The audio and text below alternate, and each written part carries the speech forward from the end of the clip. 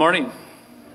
It's good to see everyone out this morning to receive from the Lord and His Word and Sacrament for us. If you have the bulletin announcement sheet, ask you to please turn to that. Um, as we can see today, following the service, the second service, we have an altar circle meeting. Uh, that again is open to anybody that might be interested. We will be meeting in the sacristy. Now, you say sacristy, that's kind of a different word. Well, if you go through this tunnel, I guess if you will, at the end of the dark tunnel, there is an office back there, and that's where we meet for getting things set up for uh, the paraments and the elements up front and so forth. And uh, the sacristy meeting will be back there today uh, to talk about getting things organized for the upcoming months here for the church. LYF is also meeting, speaking of meetings, in the fellowship hall, and that'll be an LYF meeting following the service as well. It says on Monday, Pastor Richard on vacation. Uh, brief change to let you guys know. I'm shooting to take Saturdays off instead of Mondays, but since the uh, kiddos are out of school tomorrow. I'll be taking tomorrow off with the kids, so that's the reason why that says it that way. So keep that in mind. But then on Tuesday, we're back to men's Bible study at 645.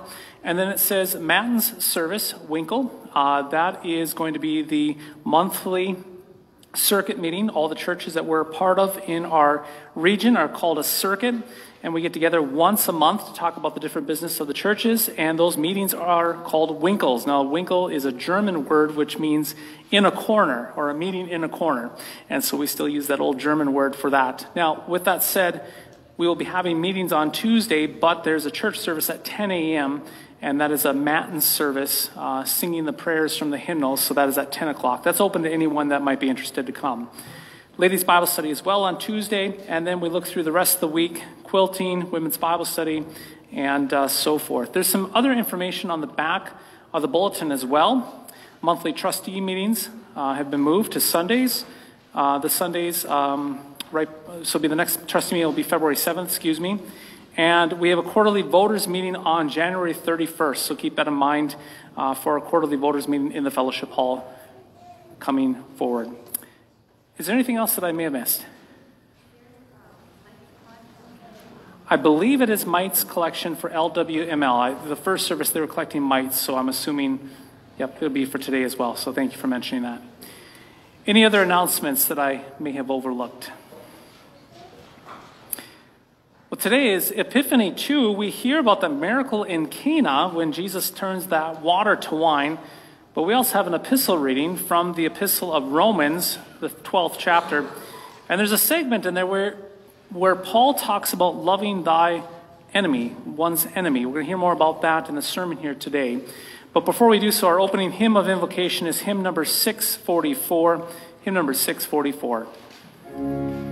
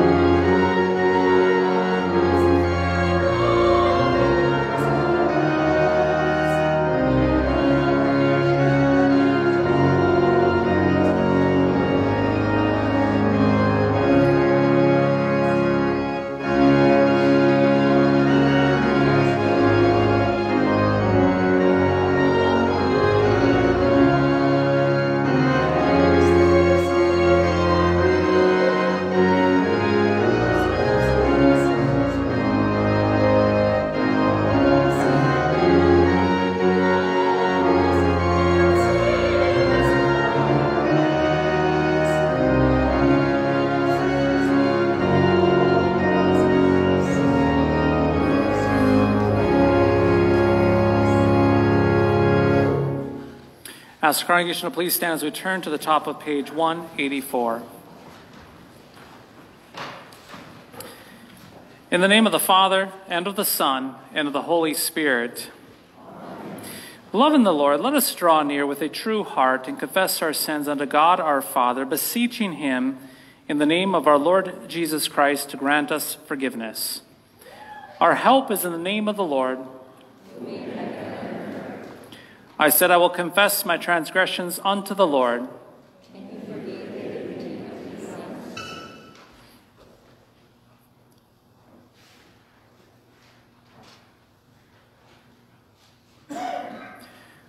Almighty God, merciful Father, I, a poor, miserable sinner, confess unto you all of my sins and iniquities with which I have ever offended you, and justly deserved your temporal and eternal punishment. But I am heartily sorry for them, and sincerely repent of them, and I pray you of your boundless mercy, and for the sake of the holy, innocent, bitter sufferings and death of your beloved Son, Jesus Christ, to be gracious and merciful to me, a poor, sinful being. Upon this, your confession, I, by the virtue of my office as a called and ordained servant of the word, announce the grace of God unto all of you. And in the stead and by the command of my Lord Jesus Christ, I forgive you all of your sins in the name of the Father, and of the Son, and of the Holy Spirit. Amen. Ask you to please turn to the introit printed on the, on the inside of your bulletin, sung to the tune of C.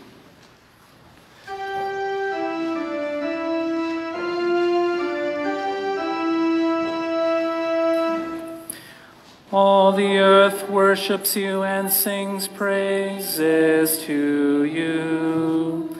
They sing praises to your name. It is good to give thanks to the Lord, to sing praises to your name, O Most High. Shout for joy to God all the earth. Sing the glory of his name, give to him glorious praise. Say to God, how awesome are your deeds. So great is your power that your enemies come clinging to you. All the earth worships you and sings praises to you.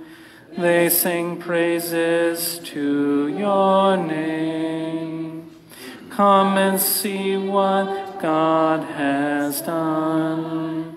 He is awesome in his deeds toward the children of men. Blessed be God because he has not rejected my prayer or removed his steadfast love from me.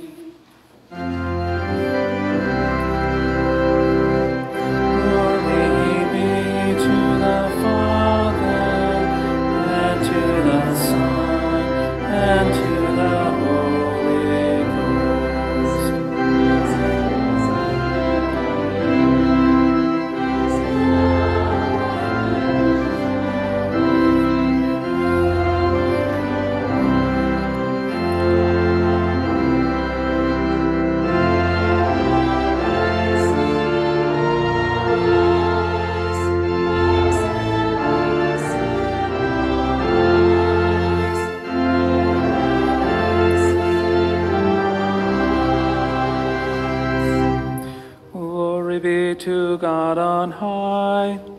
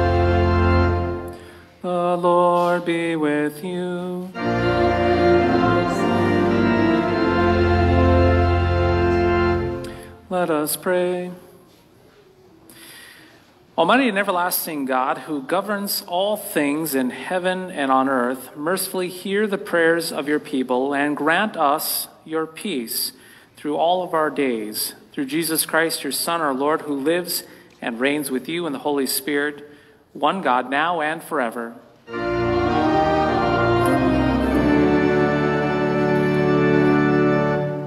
Congregation may be seated.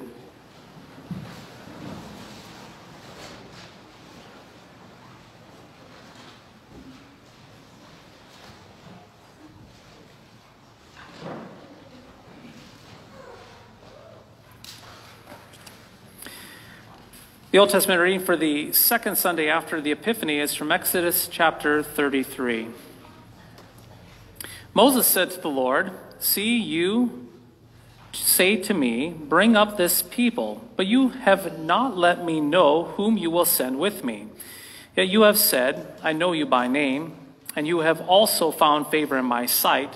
Now, therefore, if I have found favor in your sight, Please show me now your ways, that I may know you in order to find favor in your sight. Consider, too, that this nation is your people. And he said, My presence will go with you, and I will give you rest. And he said to him, If your presence will not go with me, do not bring us up from here. For how shall it be known that I have found favor in your sight, I and your people? Is it not in your going with us so that we are distinct? I and your people, from every other people on the face of the earth? And the Lord said to Moses, This very thing that you have spoken I will do, for you have found favor in my sight, and I know you by name. Moses said, Please show me your glory. And he said, I will make all my goodness pass before you, and will proclaim before you my name, the Lord. And I will be gracious to whom I will be gracious, and I will show mercy on whom I will show mercy. But he said, You cannot see my face, for man shall not see me and live. And the Lord said, Behold, there's a place by me where you shall stand on the rock. And while my glory passes by, I will put you in the cleft of the rock, and I will cover you with my hand until I have passed by. Then I will take away my hand, and you shall see my back, but my face shall not be seen. This is the word of the Lord. Thanks be to God. The epistle is from Romans chapter 12. Having gifts that differ according to the grace given to us, let us use them. If prophecy, in proportion to our faith, if service, in our serving, the one who teaches in his teaching, the one who exhorts in his exhortation, the one who contributes in generosity, the one who leads with zeal, the one who does acts of mercy with cheerfulness. Let love be genuine. Abhor what is evil. Hold fast to what is good. Love one another with brotherly affection. Outdo one another in showing honor. Do not be slothful in zeal. Be fervent in spirit. Serve the Lord. Rejoice in hope. Be patient in tribulation. Be constant in prayer. Contribute to the needs of the saints and seek to show hospitality. Bless those who persecute you. Bless and do not curse them. Rejoice with those who rejoice, weep with those who weep, live in harmony with one another. Do not be haughty, but associate with the lowly. Never be conceited. This is the word of the Lord. Thanks be to God. Please stand.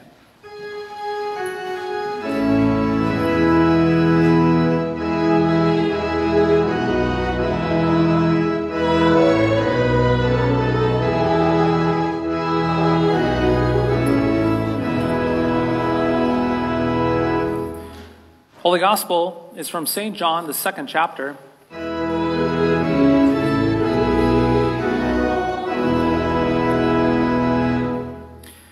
On the third day, there was a wedding at Cana in Galilee, and the mother of Jesus was there.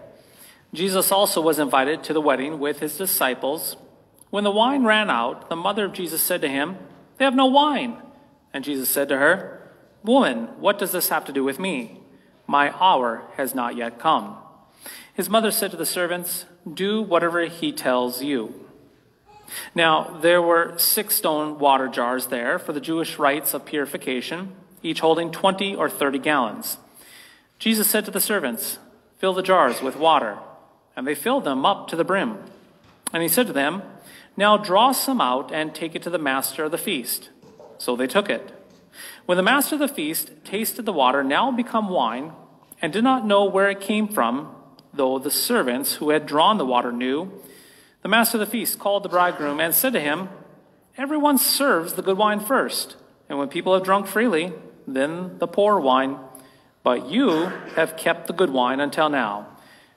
This, the first of his signs, Jesus did at Cana in Galilee, and manifested his glory, and his disciples believed in him. This is the gospel of the Lord.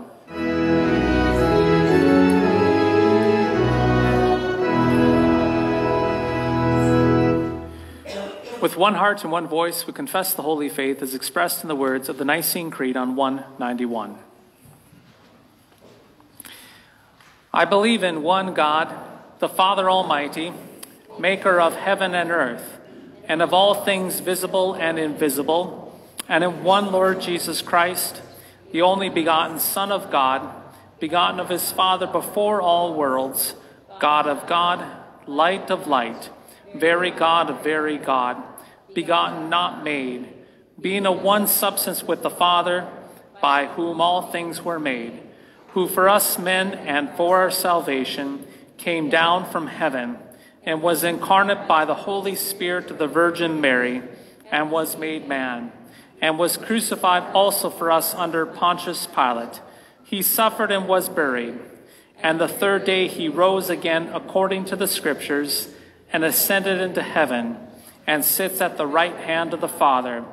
And he will come again with glory to judge both the living and the dead, whose kingdom will have no end. And I believe in the Holy Spirit, the Lord and giver of life, who proceeds from the Father and the Son, who with the Father and the Son together is worshiped and glorified, who spoke by the prophets. And I believe in one holy Christian and apostolic church I acknowledge one baptism for the remission of sins, and I look for the resurrection of the dead and the life of the world to come. Amen. Congregation may be seated for the hymn of the day, hymn number 408, hymn number 408.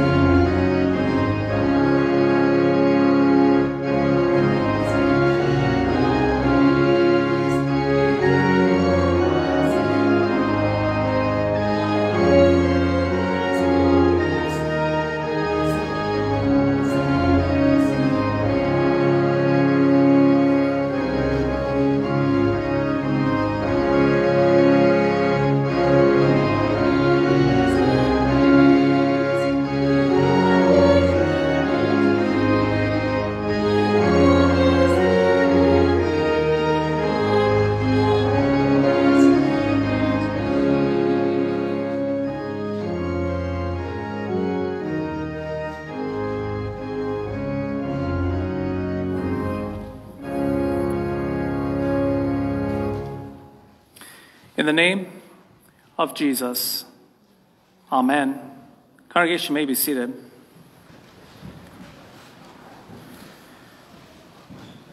We are picky. Yes, we are picky. We're also choosy. We're picky and choosy when it comes to extending love to those around us. For example, it is easy to love someone that loves us in the first place. It is also easy to love someone that gives us good things. So it makes sense that you can find a lot of love in a church. Yes, in a church. Christians possess in a church the same faith. And when they possess that same faith, they often become a loving church family. Yes, a loving church family where Christians try to put each other first.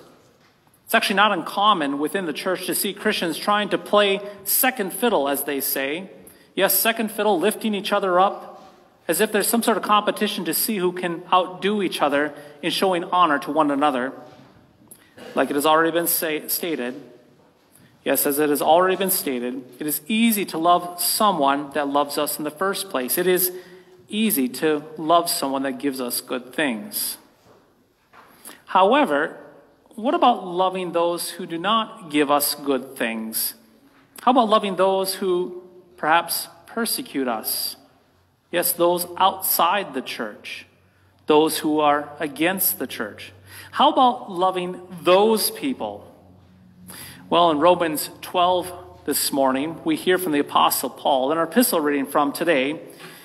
And he tells you and he tells me not only to love Christians inside the church, but then he directs you and me to love those outside the church, to love and to pray and to bless those who are our enemies. Yes, he calls you and me to love our enemies, to love those who persecute and hurt us. Now, just to make sure we are clear with who our enemies are, it is important to understand the original audience that Paul was writing to in our epistle from Romans. Paul was writing to Christians in the city of Rome some 2,000 years ago.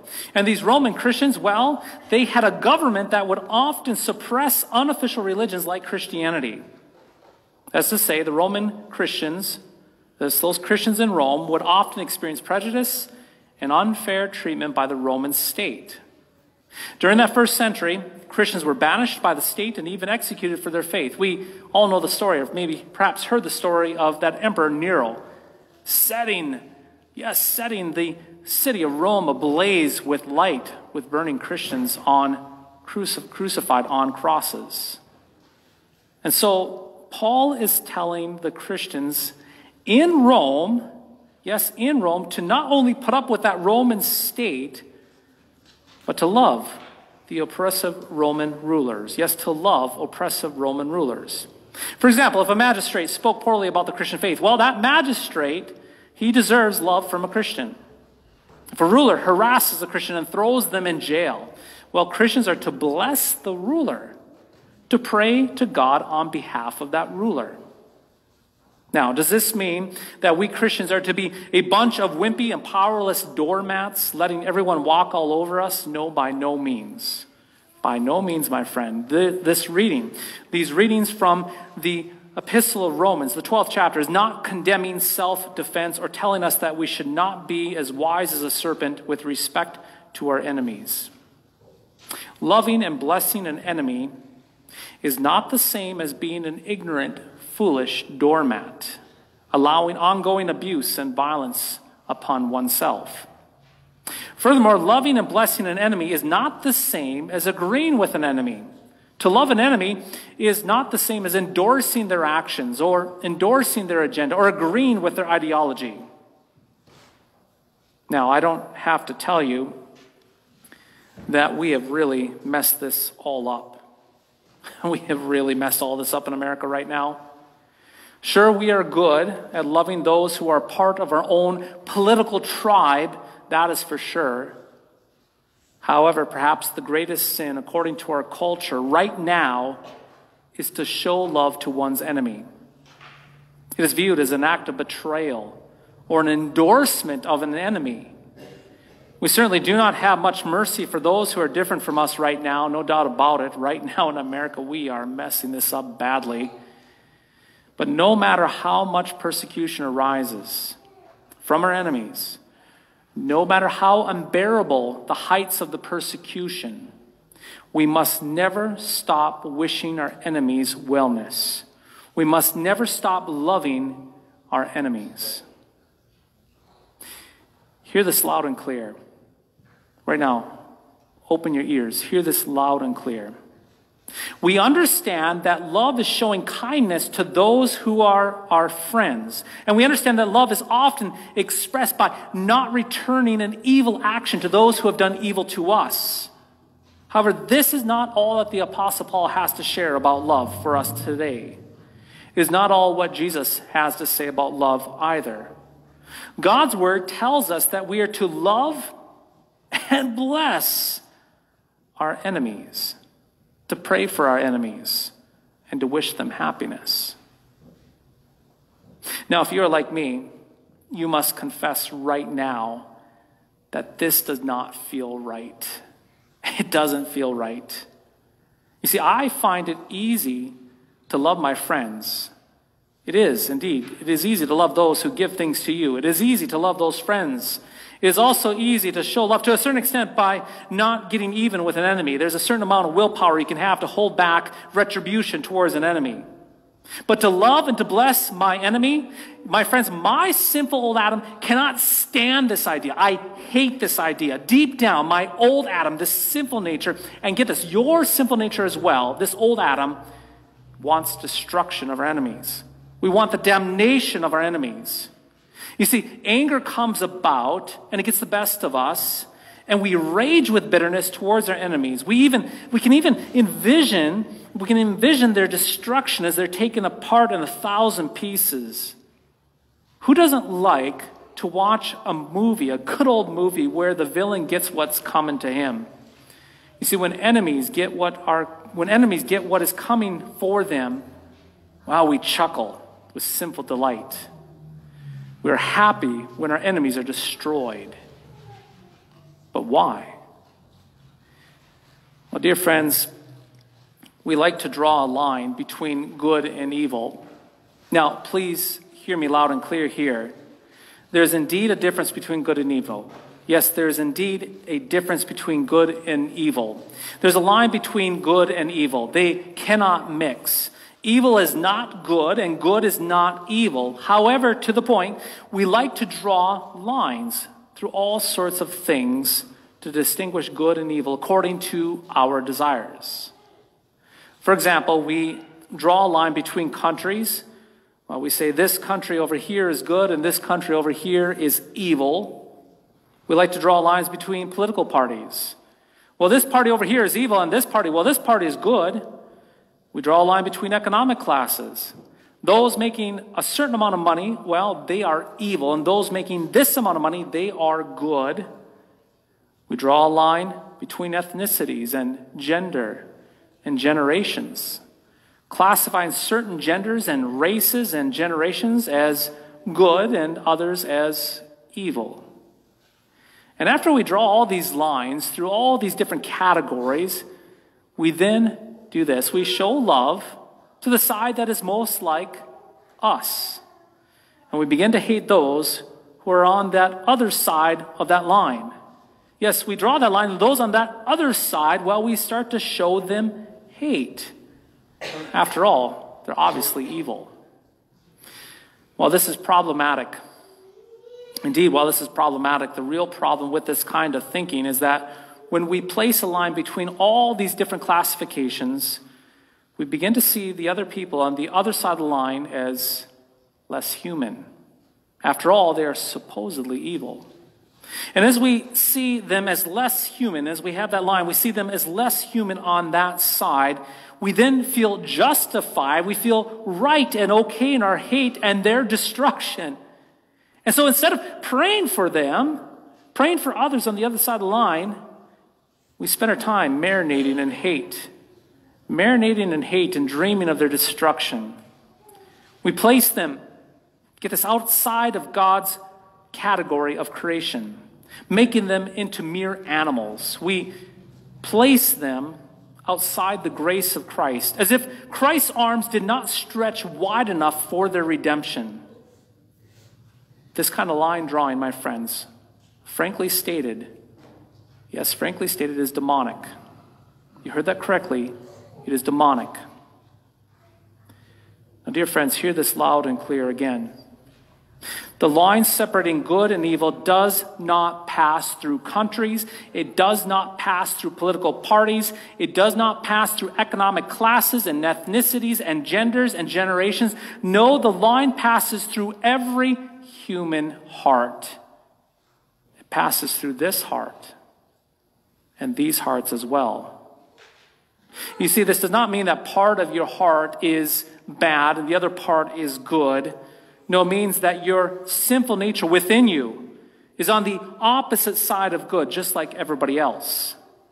There's no difference between you and your neighbor with respect to this line. Your country, your politics, your finances, your ethnicity, your gender, and your age do not somehow push you over to the line to the side of good.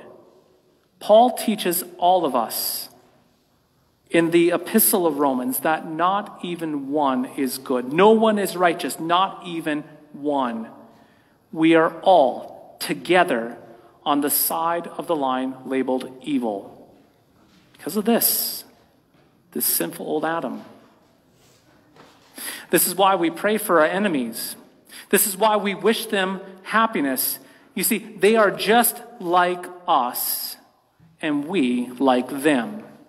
We know the evil in our hearts, and we want them to realize the evil in their hearts, so that they and us, we might all receive forgiveness, life, and salvation together in the one righteous one, the only good one, Christ.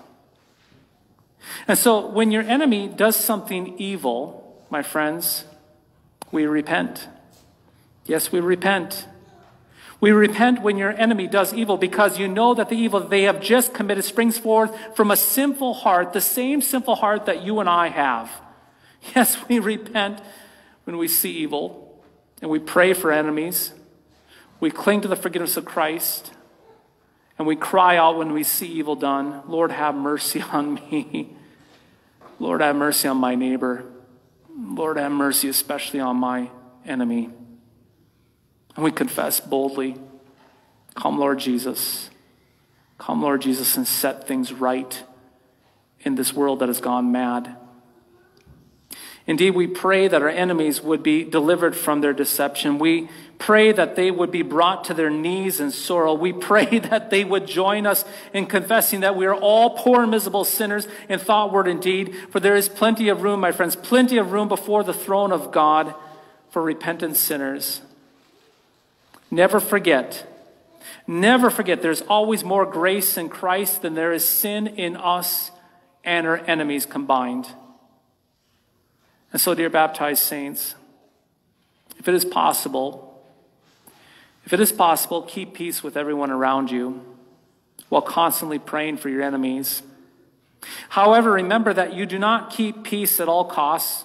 Indeed, there will be times, no doubt about it, there will be times when truth and duty and justice and integrity demand that you defend yourself and defend others. And when this happens, when you defend truth and integrity and duty and justice, stand firm, rest in Christ, and pray for those who attack you. And when you are persecuted for your faith, never forget the victory of Christ that though you were once an enemy of God, Christ Jesus made you his own through his death and resurrection.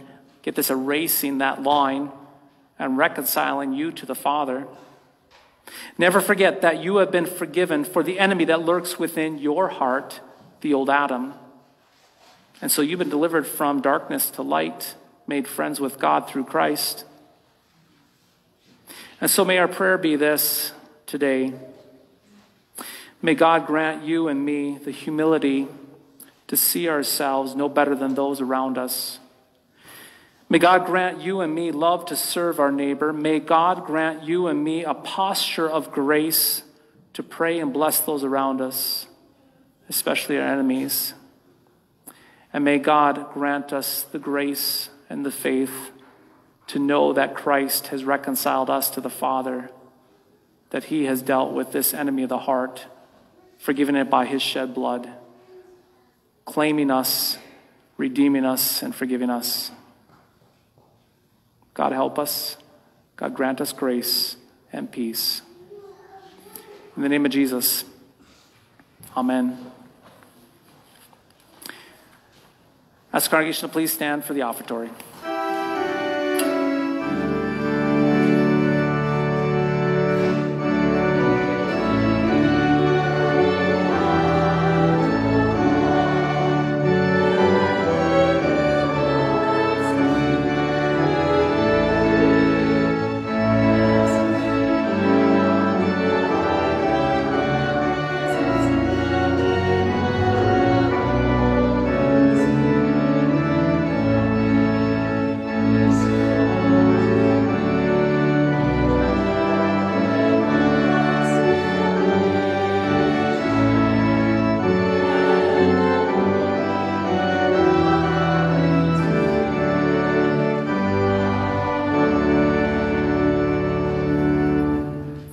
Congregation may be seated for the offering music. As a way of reminder, the offering plate is in the back of the sanctuary.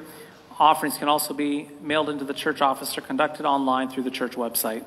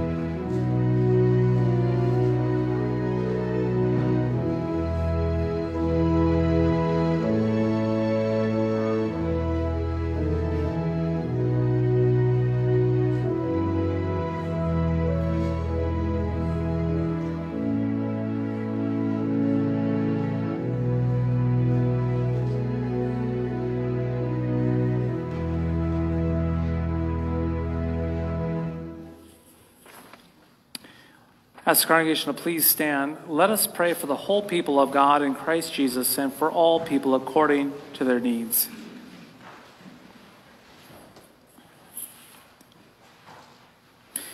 Lord, you have manifested your glory in the sign given at Cana. You have restored creation through the shedding of Christ's blood.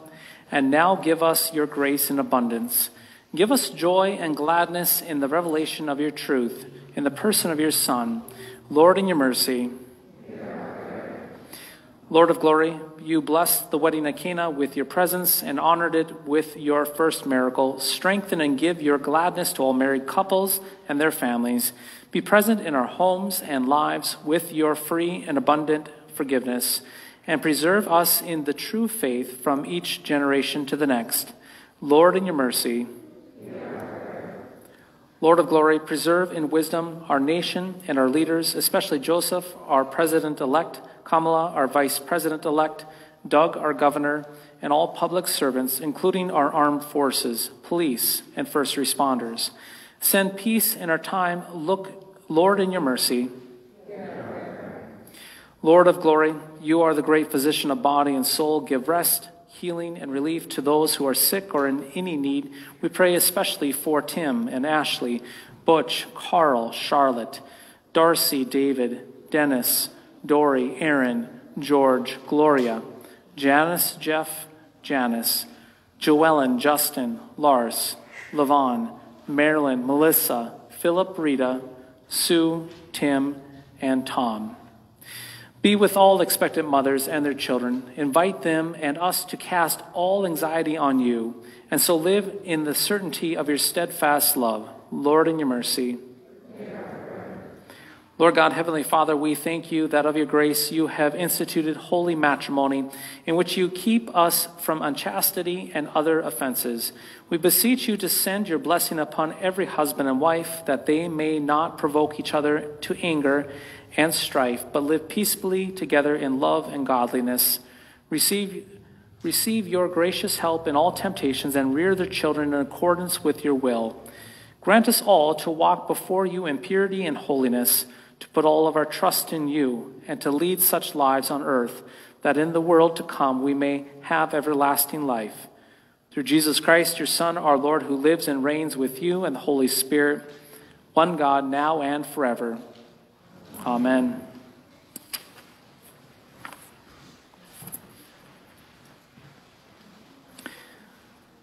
As we continue to the service of the sacrament, we continue in repentance and faith to receive the gifts the Lord has for us in his body and blood. If you're not a member of the Lutheran Church Missouri Synod, one of our sister congregations, we do still invite you to please come forward, kneel, and cross your arms to receive a blessing at the rail today. And if you'd like to partake of this wonderful gift of the altar, please talk to me after the service about membership here at St. Paul's. Also, as a way of reminder, we ask that you please space out at the rail as you receive God's gifts this day. We continue on 194. The Lord be with you.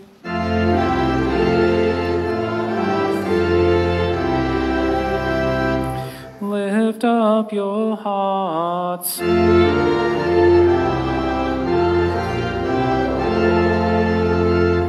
Let us give thanks unto the Lord our God.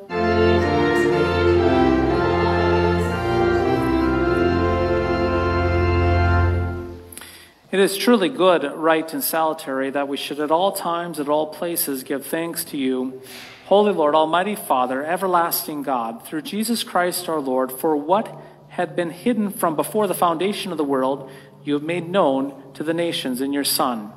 In him, being found the substance of our mortal nature, you have manifested the fullness of your glory. Therefore, with angels and archangels, and with all the company of heaven, we laud and magnify your glorious name, evermore praising you and saying,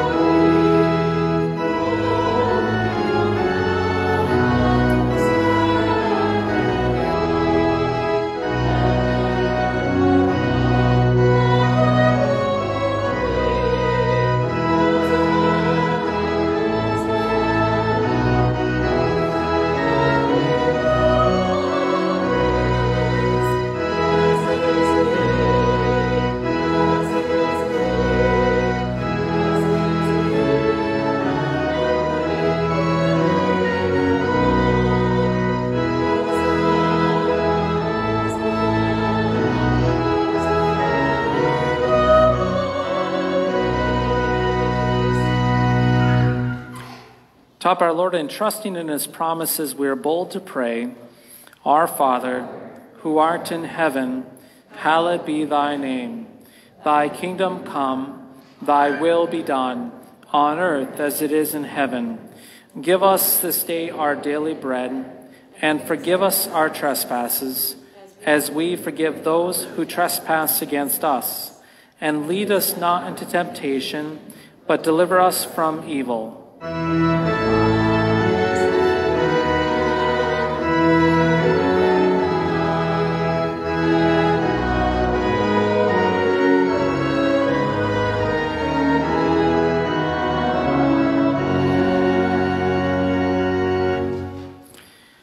Our Lord Jesus Christ, on the night when he was betrayed, took bread, and when he had given thanks, he broke it and gave it to the disciples and said, Take, eat, this is my body, which is given for you. This do in remembrance of me.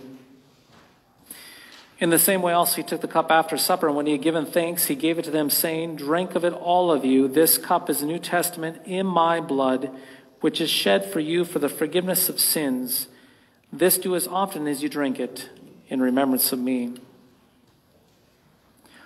The peace of the Lord be with you always.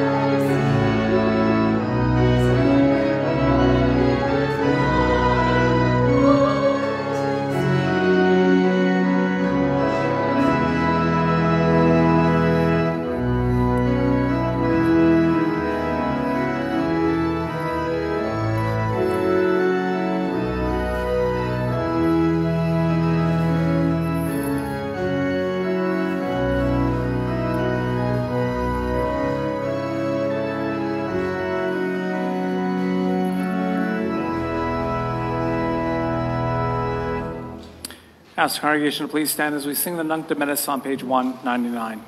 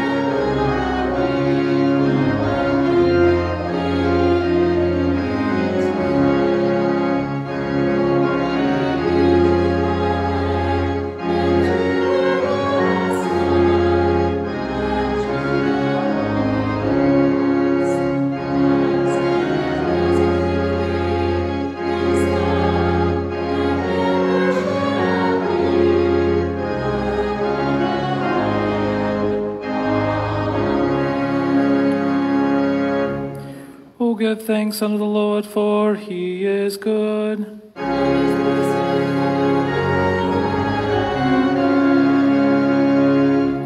Let us pray.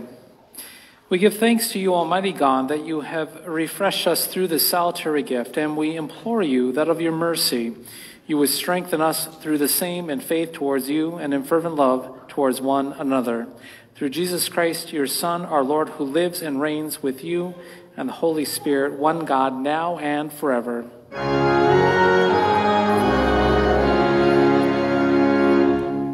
The Lord be with you. Bless we the Lord.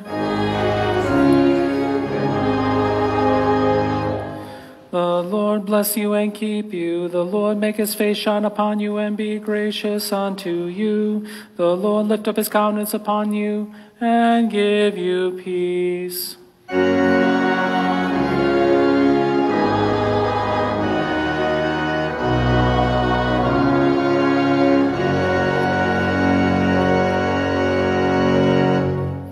Congregation may be seated for the departing hymn, hymn number 507. Hymn number 507.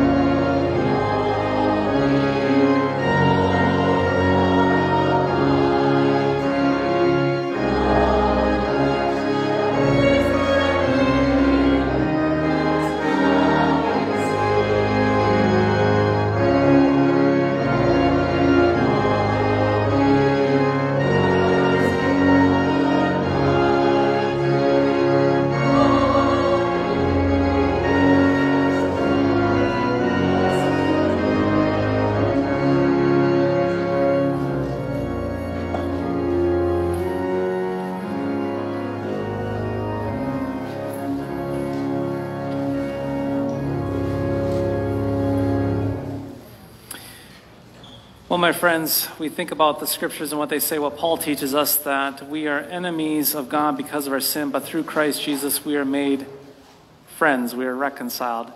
That reconciliation is the hope of the gospel for us. It is the hope that we have for those who we would consider enemies, but ultimately need repentance, just like us, to be found in Christ and His forgiveness, life, and salvation. Go in the hope of the gospel. Rest in the gospel. Rest in Christ. Amen.